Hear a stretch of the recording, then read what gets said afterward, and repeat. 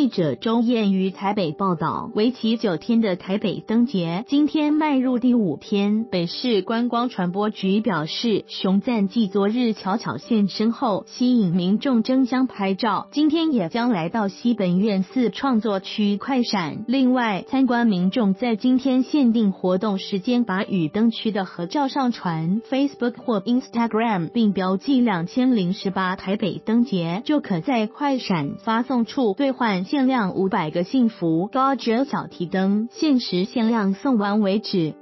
观传局表示，今天西门展演区的“狗来福旺照满城”表演推出今日限定假日版，将表演舞台扩大到全灯区，从晚间六点三十分开始，一路从西门主舞台到西门城垛、北门光雕一期一会，重申善信，最后回到西门展演区，让民众不管在哪一区都可以看到原本只属于主舞台的特别节目。同时，西门展演区的的表演内容也将加入更多的表演团体，包括海鸥 K 人声乐团及魔术师简明轩的精彩魔术秀。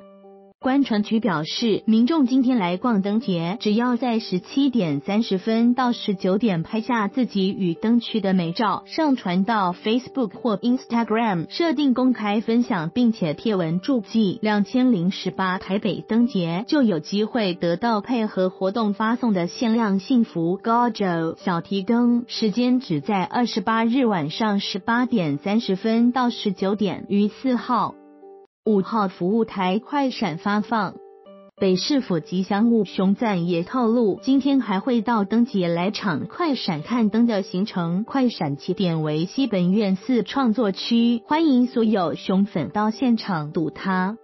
观传局表示，灯节另外一个重头戏将是三月三日的彩街大游行与紧接在后的万人点灯活动。届时，熊仔也会在现场陪大家一起点灯。而曾在开幕时引爆话题的皮卡丘同时出现表演，并举办见面会。更多有关灯的活动资讯，可上台北灯节官方网站查询。